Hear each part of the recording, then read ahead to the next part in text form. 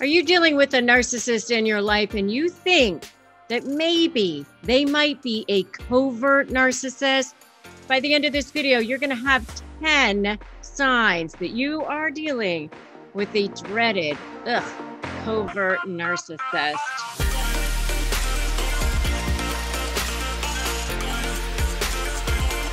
Hi, I'm Rebecca Zung. I'm an attorney and I help people negotiate with narcissists and if you are so ready, so ready to shift that dynamic and finally, finally feel like you're the one in control of the narcissist, make sure to subscribe to my channel and hit that notification bell. All right, let's talk about this covert narcissist. This is the one that I really can't stand the most, just between you and me, because I had to deal with two of them who actually targeted me. It was horrible. I mean, horrible. I, I can't even describe how much it really sucked, frankly.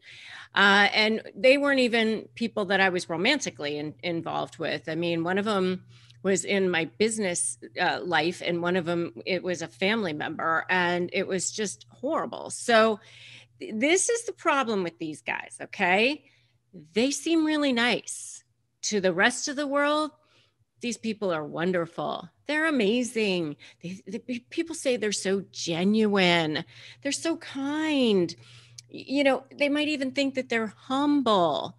Uh, these are the people that aren't like out there being brash and bragging and like what you think of with the normal garden variety narcissist, right? These are the people that are actually quite the opposite. Sometimes they can seem humble. Sometimes they present themselves as victims. I mean, they might even be sickly or something like that. They sometimes they even tell you straight out that they're depressed. Um, they can sometimes claim to be very spiritual. Uh, they sometimes say, you know, that life hasn't given them, uh, you know, a fair deal, a fair shake, or whatever. But when you're around them, even though the rest of the world thinks that they're wonderful, there's just always something that's off. You can just tell that there's just something underneath the surface that's just not right. And you just kind of have a pit in your stomach, and these little things are happening. There's these little red flags, and, and they're not huge things. It's not like you you get with like super toxic people. I mean, these are like little things that you know, they don't seem that horrible, but then it becomes sort of what I call death by a thousand cuts. They, and they and when they engage in behaviors against you, a lot of times they, there's what we call plausible deniability whereas basically like if they get caught doing something there's a way to explain it away and that explanation seems plausible uh, it doesn't seem right but then you end up kind of like buying it sometimes because you're not you're not really sure what to say or people in your world might say oh I don't think that they meant it that way. I mean, they're so nice. It must have been inadvertent. Uh, and, you know, they would never do anything that bad. I mean, they're certainly not malicious. Uh, and so when I was dealing with the two that I had to deal with, there were so many signs. Um, and um, I had to deal with them in these relationships. And by the way, if you want to know more about specifically covert narcissism in relationships, definitely check out my video on that topic. But anyway, there's so many traits, really, in a lot of ways. But in my experience, the ones that I had to deal with, here are my top 10, the ones that really stood out to me the most. Number one is a very fragile sense of self. I mean, these are the people they're, they, they just feel hollow inside when you're around them. They don't, it seems like there's a vacancy. There's something that's not quite right, not quite there. Uh, or there's sort of like chameleons, whoever they're around, that's who they, they kind of take on that personality of that person so that's number one. Number two is they're extremely jealous, and you'll find that, you know, that they'll be jealous of other people. Who is that person to have what they have, or uh, they covet what other people have. They they're often very uh, competitive. Um, that was my um, experience with the, the two narcissists I had to deal with, I, I felt like they were constantly trying to one up me or somehow show that they were better than me in some way. Or I, I just felt like there was this constant competition, which when I'm with my real friends and my real people and the other people in my life, I never have that feeling. Like we're just supporting each other. It's good. We're having a conversation. But there's this undertone of something going on with the covert narcissist. Number three is this underhanded criticism. And it's so, they're really good at it. To be honest with you, I don't, I'm not good at this kind of stuff, but they're really good at it. So there's sort of like this, they have this way of sort of like working their their their statement in with their criticism so it's like oh i saw that you handled this uh, that was great that you handled that but I noticed that you forgot to do this. I, I took care of it for you, you know, like little like cut there, you know, and you're sort of like, what, what, where did that come from? Right. So underhanded criticism is number three. Number four is triangulation, those flying monkeys. Covert narcissists love, love them some flying monkeys. Yeah, they love the flying monkeys. They love to get other people involved make to to make sure that you know that the world thinks that they're wonderful and so if you think there's anything wrong with them then it's definitely your problem. Or they're either against you for them it's they want you to feel isolated it's a bullying tactic it's a weakening ta- tactic. They're trying to destabilize you they're trying to show you that you know that they've got more power than you.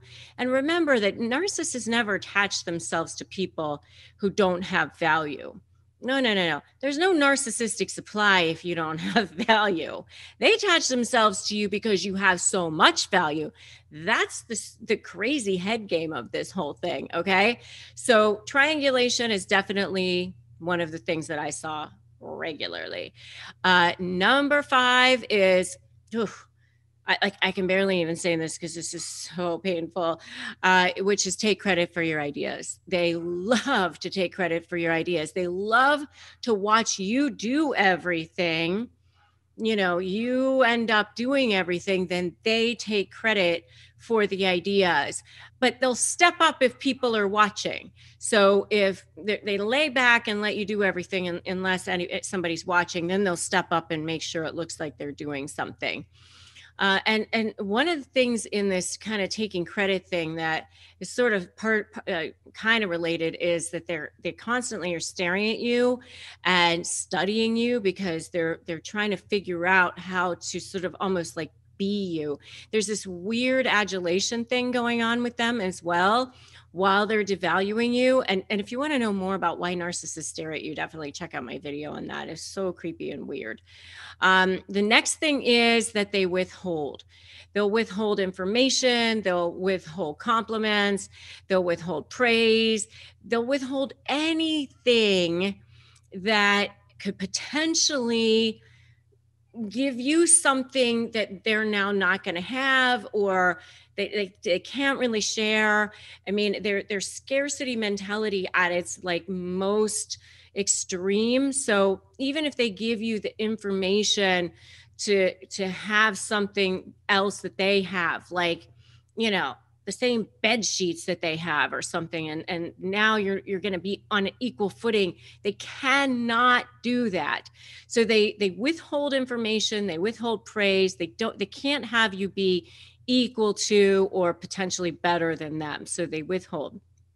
Next thing is creating drama. Oh I mean, they create drama in so many different ways by roping people in like you know we talked about the flying monkeys. Uh, they also like to drop little bits of gossip to people uh, which will maybe pit people against each other or pit people against you something like that. And and sometimes they're really good the really good ones are really good at packaging up these little bits of gossip to make it look like care or concern so concerned about her. You know, she had really too much to drink at the party last night. I wonder what's going on with that. You know, something like that. Or they present as the victim. You know, I just don't know why she won't talk to me anymore. I I was so good to her. I you know, I or, I, I, can't believe that this is happening after I did so much for them. You know, something like that. They're presenting as the victim to try to get flying monkeys to think that, you know, you did something to them in some way. Okay. And the next one is, oh, this is one of their faves. They love, covert narcs love to be passive aggressive one of their absolute go-to bag of tr- in their bag of tricks. They will do things that they said said that they didn't. They will don't they will not do things that they say they're going to do. And then you have to like kind of like follow up with them and find out what's going on with that and and then you know they might even try to gaslight you and we never had that conversation or you never said that you know um, and and then if you try to call them out or you actually do catch them then they suddenly become the victim. Oh my life is a mess and oh i can't believe you're saying this to me and i've been so wonderful you know, or, or something like that. So that's another way of being passive aggressive. Another way is, you know, what we talked about earlier, with that underhanded criticism, that those backhanded compliments. Um, or a refusal to communicate at all. That's another way of being passive aggressive.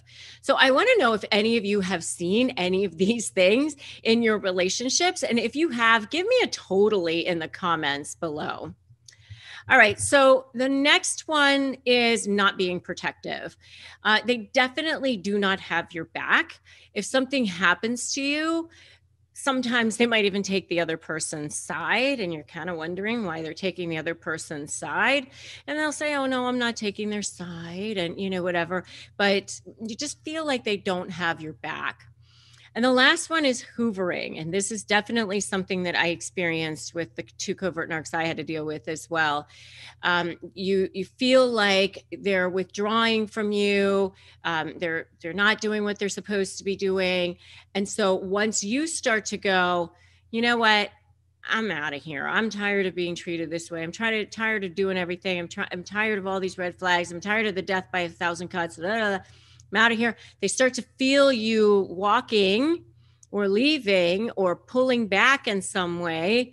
Then all of a sudden, they'll rush in and do the things that they were supposed to do in the first place, which actually makes it worse because now you're like, oh, so you did know what you were supposed to be doing, but you just didn't.